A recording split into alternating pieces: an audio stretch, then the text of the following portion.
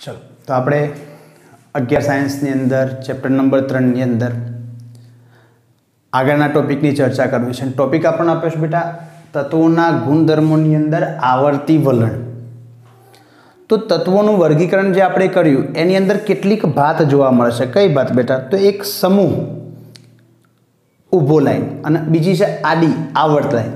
તો એની અંદર એના કેટલાક ગુણધર્મો. સમૂહની અંદર જોવા જઈએ તો સમૂહમાં ક્રમશઃ ગુણધર્મો બદલાય છે. આવર્તની અંદર ગુણધર્મો બદલાય છે. તો એવા કેટલાક ગુણધર્મોની ચર્ચા કરવી છે. અને એવા કેટલાક ગુણધર્મો આપણને આપેલા છે. પાંચ ગુણધર્મોની આપણે ચર્ચા કરવાની છે. એ પૈકી પહેલો છે પરમાણીય ત્રિજ્યા, બીજો છે આયનીય ત્રિજ્યા, ત્રીજો છે આયનીકરણ એન્થાલ્પી, ચોથો આપણને આપ્યો છે ઇલેક્ટ્રોન પ્રાપ્તિ એન્થાલ્પી, અને પાંચમો આપણને આપ્યો છે વિદ્યુત ઋણતા. અને આ પાંચ ગુણધર્મો ધોરણ બારની અંદર જરૂર પડશે. જો કે આ ફંડામેન્ટલ બેઝ છે, રાસાયણિક પ્રક્રિયાઓ થવા માટે તત્વોના જે ગુણધર્મો છે, એ વાસ્તવમાં એની ઇલેક્ટ્રોન રચના પર આધાર રાખતા હોય છે. અને ઇલેક્ટ્રોન રચનાના આધારે એની અંદર કેટલાક ગુણધર્મોની અંદર સામ્યતા તેનો મતલબ એવો ભાઈ એક જ સમૂહના જે તત્વો છે ને, એના અમુક પ્રકારના રાસાયણિક ગુણધર્મો સમાન જોવા મળશે. પરંતુ એના ભૌતિક ગુણધર્મોની જો વાત કરવાની થાય, તો એની અંદર થોડું અપવાદી વલણ પણ જોવા મળતું હોય છે. એના આપણે ક્રમશઃ ચર્ચા કરવી છે. એ પૈકી પહેલું પરમાણીય ત્રિજ્યા. પહેલો કહો બેટા, પરમાણવીય ત્રિજ્યા. તો પરમાણવીય ત્રિજ્યા શબ્દ જોઈએ તો ભાઈ સાદી ભાષામાં એવું કહેવાય કે ભાઈ પરમાણુની ત્રિજ્યા હોય અને પરમાણીય ત્રિજ્યા કહેવાય. પણ ખરેખર પરમાણુને નરી આંખે જોઈ શકાય છે? ના. તેનો મતલબ, જો તમે પરમાણુ નહીં જોઈ શકતા, તો એની ત્રિજ્યા કેટલી છે? એનો સચોટ આગાહી તમે મેળવી શકવાના નથી. પરંતુ પરમાણુની ત્રિજ્યા જો નક્કી કરવી હોય તો એક્સરે ડિફ્રેક્શન મેથડ ક્ષકિરણ પદ્ધતિ અને બીજું વર્ણપટીય પદ્ધતિઓ, જેને સ્પેક્ટ્રોસ્કોપિક મેથડ તરીકે ઓળખવામાં આવતી હોય છે. એની મદદથી નક્કી કરવામાં આવતું હોય છે. તો જ્યારે પરમાણુનો અહીંયા જો ફરીથી કહી દઉં, કોની મદદથી બેટા? તો એક્સરે ડિફ્રેક્શન મેથડ અને ક્ષકિરણ વિવર્તન પદ્ધતિની મદદથી માપી શકાતી હોય છે. અને એની મદદથી જ્યારે માપણ ત્યારે પરમાણુની ત્રિજ્યા નિયરેસ્ટ ટુ એક એક પોઈન્ટ બે એંગસ્ટ્રોમ. એટલે શું લખી શકાય? એક પોઈન્ટ બે ગુણ્યા દસની માઇનસ દસ ઘાત મીટર. હવે આ તો મૂલ્ય ઘણું બધું નાનું થઈ ગયું. એને સચોટ રીતના માપી શકાય નહીં અને નળી આંખે પણ જોઈ શકવા નહીં. વળી, પરમાણુની આજુબાજુ ઇલેક્ટ્રોન જે વાદળ ખરું, ઇલેક્ટ્રોન વાદળ એટલા માટે કહું છું બેટા એનો સમૂહ છે. તો ઇલેક્ટ્રોન વાદળનું વિતરણ પણ ચોક્કસ નહીં. તો પરમાણુની અંદર જ્યારે કદ નક્કી કરવાનું થાય અને એના આધારેની ત્રિજ્યા નક્કી કરવાની થાય. તો એ થોડી જટિલ બાબત છે. છતાંય આધુનિક ટેકનોલોજીનો ઉપયોગ કરી આપણે એનું પરમાણ્ય ત્રિજ્યાઓ આપણે નક્કી કરી શકતા હોઈએ છીએ. તો અહીંયા જરા જોઈએ. તો બીજી કેટલીક બાબતો. કઈ બાબતો? દાખલા તરીકે પરમાણુ ત્રિજ્યા બે પ્રકારના અણુ માટે રહેશે. કેટલાક પરમાણુ એવા છે કે એના જેવાન જેવા પરમાણુ સાથે બંધ બનાવે છે. તો એવા બંને આપણે આગળના ચેપ્ટરની અંદર બંધની સંકલ્પનાઓ સમજશું ત્યાં સહસંયોજક બંધ તરીકે ઓળખશું. અને કેટલીક ધાતુઓ એવી છે. તો ધાતુઓ તો મોટાભાગે શું હોય? તો ધાતુઓ મુક્ત અવસ્થામાં કેટલીક ધાતુઓ મળે કેટલીક ધાતુઓ મુક્ત અવસ્થામાં મળતી નથી. તો એની અંદર શું થાય? તો બેટા એની અંદર પણ એનું સરેરાશ મૂલ્ય લેવું પડતું હોય છે. તો પરમાણુ ત્રિજ્યાની વ્યાખ્યામાં આપવી છે તો શું આપી શકાય? તો દ્વિપરમાણવિક અણુમાં આ કોની અંદર લખું છું? દ્વિપરમાણવિક માટે. દ્વિપરમાણવિક અણુમાં બે કેન્દ્રો વચ્ચેના, ઉદાહરણ વડે સમજીએ એટલે ક્લિયર થશે. બે કેન્દ્રો વચ્ચેના અંતરના સરેરાશ મૂલ્યને પરમાણુય ત્રિજ્યા, પણ પરમાણુ ત્રિજ્યાની જગ્યાએ આવો બંધ મેં ચોક્કસ કહી દીધો. કયો બેટા, સહસંયોજક. તો એના સહસંયોજક ત્રિજ્યા તરીકે ઓળખવામાં આવે છે. આવું ઉદાહરણ વડે સમજીએ.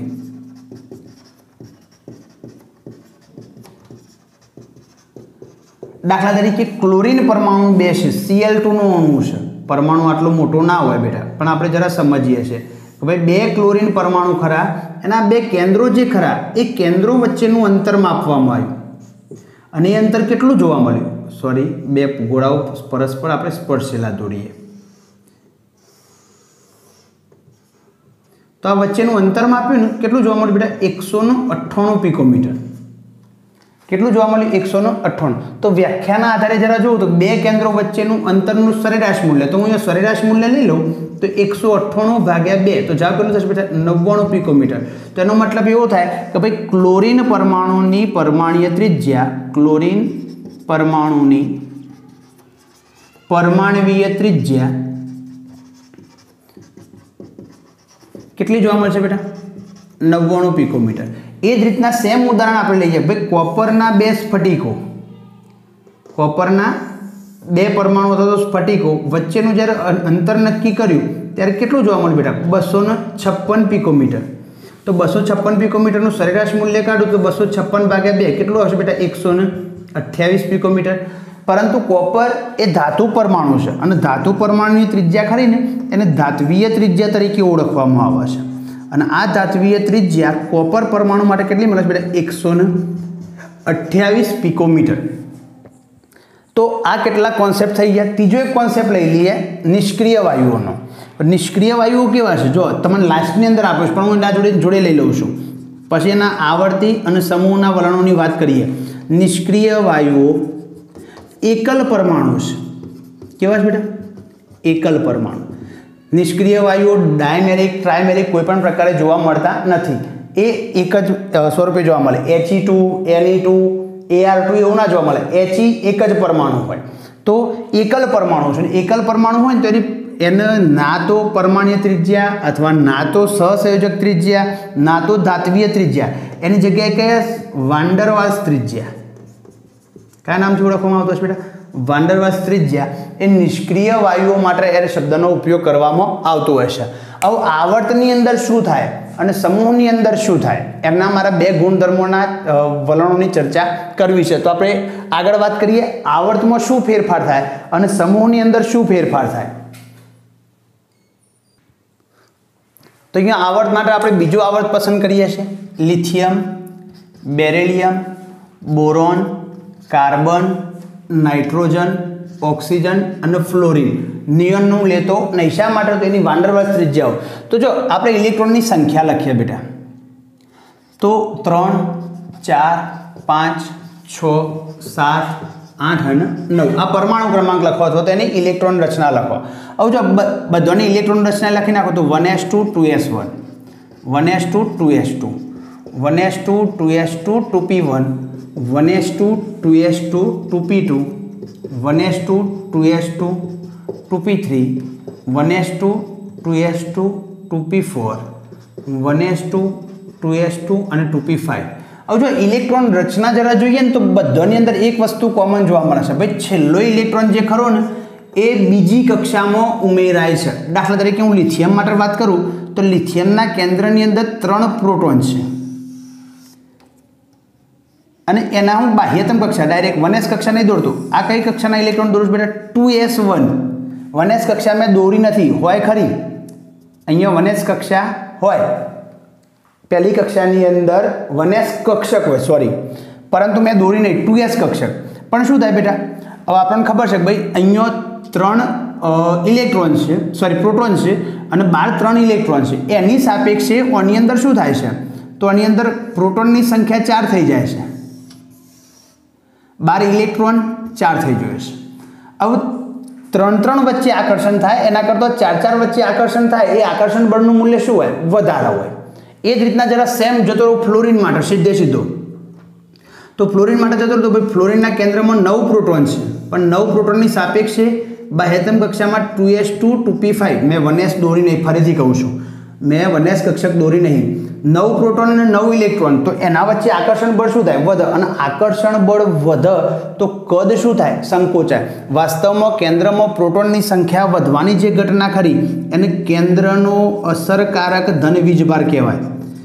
કેન્દ્રનો અસરકારક ધન વીજભાર હવે બાકીના તત્વોને આપણે ગોઠવે તેનો મતલબ એવો થઈ ગયો કે ભાઈ તમે આવર્તમાં જેમ જશો, એમ મુખ્ય ક્વોન્ટમ અંક એનું મૂલ્ય અચળ રહેશે. પણ કેન્દ્રનું અસરકારક ધન વીજભાર વધશે. અને કેન્દ્રનો જો અસરકારક ધન વીજભાર વધે, તો કક્ષાનું સંકોચન થાય.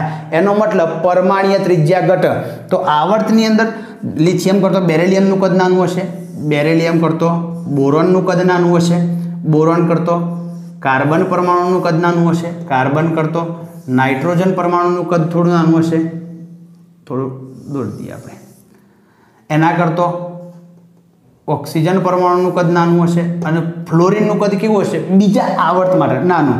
તો એનો મતલબ આવર્ત માટે કેટલાક મુદ્દા જન્મ લઈએ તો કેટલા બને? તો આવર્તમાં આ કઈ બાજુ કહેવાય? ડાબી બાજુ. ડાબી બાજુથી જમણી બાજુ તરફ જતા મુખ્ય ક્વોન્ટમ આંક એનનું મૂલ્ય અચળ રહે છે. પરંતુ કેન્દ્રમાં પ્રોટોનની સંખ્યા અને બાહ્યતમ કક્ષામાં ઇલેક્ટ્રોનની સંખ્યામાં વધારો થાય છે. આવા ઇલેક્ટ્રોનની સંખ્યા વધે પરિણામે આકર્ષણ વધે છે. જેથી કદ સંકોચાય. તેનો મતલબ શું થઈ ગયો? ભાઈ આવર્તની અંદર, આવર્તમાં ડાબી બાજુથી જમણી બાજુ તરફ જતા પરમાણીય ત્રિજ્યા ઘટે. એક મહત્વનો ગુણધર્મ આવી ગયો. કે ભાઈ આવર્તમાં તમે જેમ ડાબી બાજુથી જમણી બાજુ તરફ જશો, એમ એની પરમાણીય ત્રિજ્યામાં શું થશે? ઘટાડો થશે. તો આ એક કોન્સેપ્ટ થઈ ગયો. હવે એ જ કોન્સેપ્ટ મારા સમૂહના આધારે જો પરીક્ષાની અંદર ઘણા બધા ક્વેશ્ચન પૂછી જશે કોમ્પિટેટિવ એક્ઝામમાં એક આપણને ચાર તત્વો આપેલા હોય, એને યોગ્ય ક્રમમાં ગોઠવો. ચાહે પરમાણ્ય ત્રિજ્યા, આયનીય ત્રિજ્યા, આયનીકરણ એન્થાલ્પી, ઇલેક્ટ્રોન પ્રાપ્તિ એન્થાલ્પી અથવા તો વિદ્યુત ઋણતા. તો એના કોન્સેપ્ટોના આધારે આ ટોપિક જ્યારે પછશે ત્યારે એક લેક્ચરની અંદર આપણે આ બધા જ ગુણધર્મોના ક્વેશ્ચન જે ખરા, એ કઈ રીતના પૂછવાય છે, એનો આપણે એક વીડિયો બનાવી દઈશું. પણ અત્યારે હાલ આપણે આવર્તી વલણની અંદર આટલું રાખીએ. હજી મારા સમૂહનું વલણ બાકી છે. સમૂહની વલણની અંદર આપણે પ્રથમ સમૂહ પસંદ કરીએ. Lithium, sodium, potassium rubidium caesium અને ફ્રાન્સિયમ. તો જો લિથિયમની ઇલેક્ટ્રોન રચના શું બનશે બેટા? Helium two s one, neon three s one, argon four s one, krypton five s one xenon six s one અને રેડ વન શોર્ટ ઇલેક્ટ્રોન રચના લખી છે. સેવન એસ વન અને કઈ રીતના લખાય? તો આપણે આગળના લેક્ચરની અંદર ચર્ચા કરી ચૂક્યા. આવું જો, ઓની અંદર ઇલેક્ટ્રોન કઈ કક્ષામાં ઉમેરાશે બેટા, બીજી કક્ષામાં. તો આ કેન્દ્ર હોય, તો આ બીજી કક્ષા. પહેલી કક્ષા હું દોરતો નથી. આ ફરીથી કહું છું. મોસ્ટ આઉટર ઓર્બિટલ દોરી રહ્યો છું. સૌથી બાહ્ય, બાહ્યતમ કક્ષા. અહીંયા શું થાય? તો આ કેન્દ્ર હોય, તો એની અંદર આ ત્રીજી કક્ષામાં ઇલેક્ટ્રોન ઉમેરાય. અહીંયા શું થાય? તો અહીંયા ઇલેક્ટ્રોન ચોથી કક્ષામાં ઉમેરાય. આના માટે ઇલેક્ટ્રોન પાંચમી કક્ષામાં ઉમેરાય ઓના માટે સાઈડમાં દોરીએ તો ઇલેક્ટ્રોન જે ખરો એ છઠ્ઠી કક્ષામાં ઉમેરાય અને ઓના માટે દોરું, તો ઇલેક્ટ્રોન શું થાય બેટા? સાતમી કક્ષામાં ઉમેરાય આગળની છ વખત જે કક્ષાઓ ફરી મેં દોરી નથી, માત્ર ને માત્ર બાહ્યતમ કક્ષાઓ દોરી છે. તો ક્રમશઃ એક વલણ સ્પષ્ટ થઈ જાય છે. હા, અહીંયો, સમૂહમાં શું થાય? તો સમૂહમાં ઉપરથી નીચે તરફ જતો, એટલે ઉપરથી એટલે લિથિયમથી ફ્રાન્સિયમ તરફ જતો. નીચે તરફ જતો. પ્રોટોનની સંખ્યા અને ઇલેક્ટ્રોનની સંખ્યા વધે છે. જો સમૂહમાં શું થયું આ તો આ તો બનતું હતું, પણ એમાં મુખ્ય ક્વોન્ટમ અંક એન અચળ રહેતો હતો. પણ અહીંયા શું થાય છે? સાથે સાથે મુખ્ય ક્વોન્ટમ અંક એનનું મૂલ્ય. એનનું મૂલ્ય પણ વધે છે. તેથી ઇલેક્ટ્રોનનું કેન્દ્રથી અંતર વધે. અને કેન્દ્રથી અંતર વધે તો સમૂહમાં ઉપરથી નીચે તરફ જતા પરમાણીય ત્રિજ્યા હંમેશા શું થાય બેટા, વધે. તો બે વલણો મળ્યા અને બે વલણો હું અહીંયા લખી દઉં. આ આડી લાઈન દોરું છું, એ આવર્ત માટે અને આ ઊભી લાઈન દોરીએ સમૂહ માટે તો આવર્તમાં શું થાય બેટા? પરમાણીય ત્રિજ્યા વધે. સોરી આવર્તની અંદર પરમાણીય ત્રિજ્યા ઘટે અને સમૂહમાં પરમાણીય ત્રિજ્યા હંમેશા વધે. બે વલણો સ્પષ્ટ થઈ ગયા. બરાબર? અહીંયા આવર્તની અંદર અપવાદ વલણ જોવા મળશે. દાખલા તરીકે બારમામાં જશો તો ખરેખર ઝીંકનું કોપર કરતો કદ નાનું હોવું જોઈએ પણ ખરેખર ઝીંકનું કદ વધી જાય છે. શા માટે વધશે? તો એની ચર્ચા આપણે ધોરણ બારની અંદર કરીશું. તો આ પહેલું ટોપિક થઈ ગયો પરમાણીય ત્રિજ્યા. હવે બીજો ટોપિક લેવો બેટા, આયનીય ત્રિજ્યા. તો બીજો ટોપિક છે બેટા, આયનીય ત્રિજ્યા.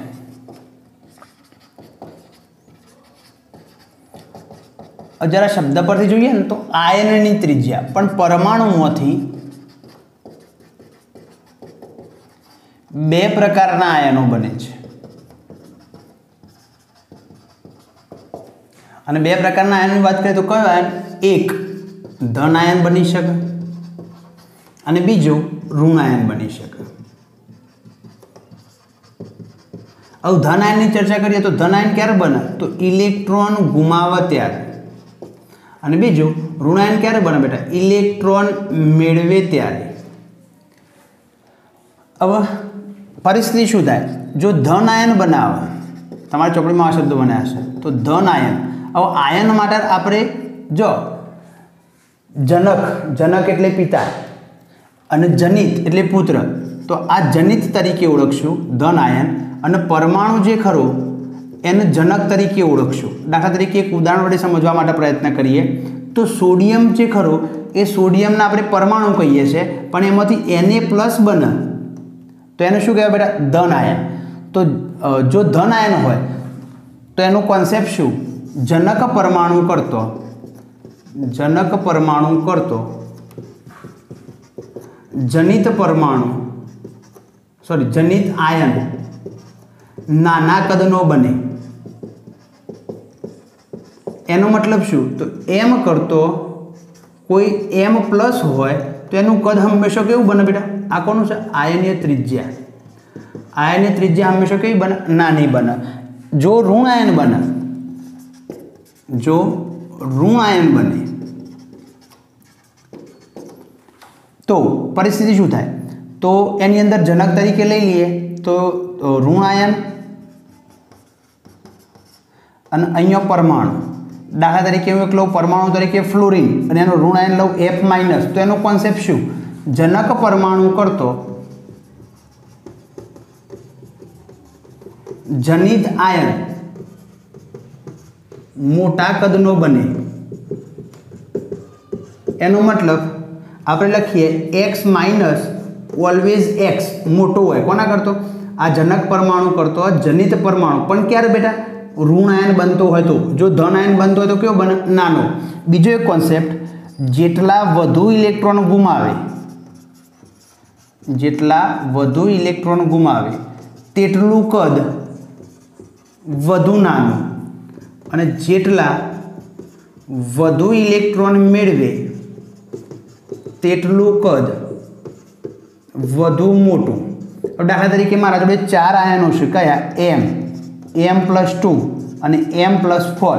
એને મારા ક્રમમાં ગોઠવવા છે તો ક્રમમાં કઈ રીતના ગોઠવી શકાય તો ભાઈ, એમ પ્લસ ફોરનું કદ કેવું થશે? નાનું. કારણ કે જેટલા વધુ ઇલેક્ટ્રોન ગુમાવે એટલું કદ વધુ નાનું. એના પછી એમ પ્લસ ટુ અને એમનું કદ સૌથી વધારે.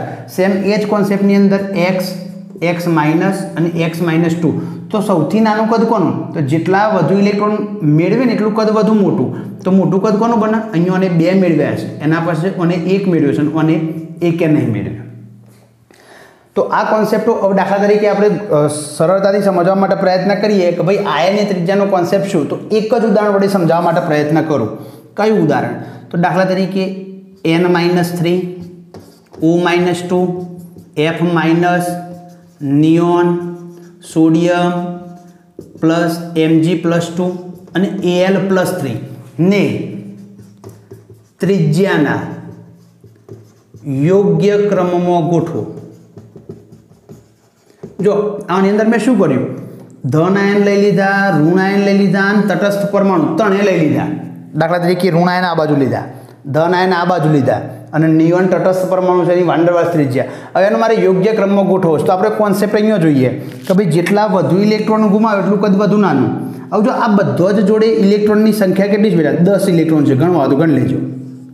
આ બધો જોડે ઇલેક્ટ્રોનની સંખ્યા કેટલી છે? દસ જ છે. તો મારે ચડતા ક્રમમાં ગોઠવવા હોય તો શું થાય બેટા? જેટલા વધુ ઇલેક્ટ્રોન ગુમાવે એટલું કદ વધુ નાનું. બધા જોડે ઇલેક્ટ્રોન સરખા છે તો સૌથી વધારે કોને ગુમાયા એલ પ્લસ થ્રી તો એ એલ પ્લસ થ્રીનું કદ કેવું બનશે? સૌથી નાનું. એના પછી એમજી પ્લસ ટુ એના પછી એને પ્લસ પછી તટસ્થવાળો નિયોન આવું જો અહીંયા ભૂલ ના થાય. ઋણાયનમાં શું છે? જેટલા વધુ ઇલેક્ટ્રોન મેળવે એટલું કદ વધુ મોટું. તો સૌથી વધારે ઇલેક્ટ્રોન કોને મેળવે છે બેટા? નાઇટ્રોજને તો એન માઇનસ થ્રી એના પછી ઓ માઇનસ ટુ અને એના પછી એફ માઇનસ. તો આ તમારો શું બની જશે બેટા? યોગ્ય ક્રમ બની જશે કે જેના મદદથી તમે યોગ્ય ક્રમની અંદર ચાહે કોઈ પણ પરમાણુ હોય, આયન હોય, તો એને યોગ્ય ક્રમની અંદર શું કરી શકો બેટા? ગોઠવી શકો. આ કેટલાક કોન્સેપ્ટ બહુ મહત્ત્વના શોર્ટ ફોર્મની અંદર આપણે લખેલા છે જરા સમજવા પ્રયત્ન કરજો. બાકી આયનીકરણ એન્થાલ્પી નેક્સ્ટ લેક્ચરની અંદર આપણે ચર્ચા કરીશું.